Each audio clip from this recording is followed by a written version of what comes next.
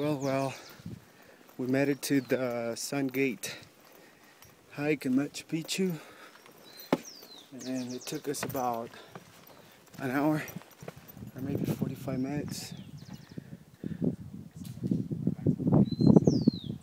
And that's the Machu Picchu behind on my back.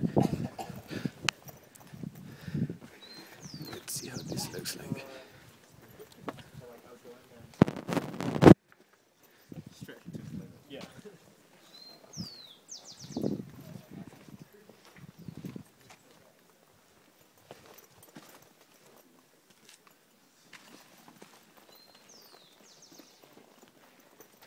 Pretty cool.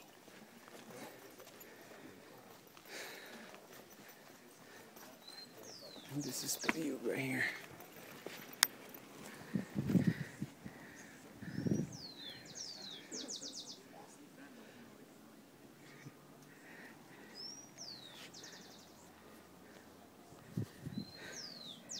We made it.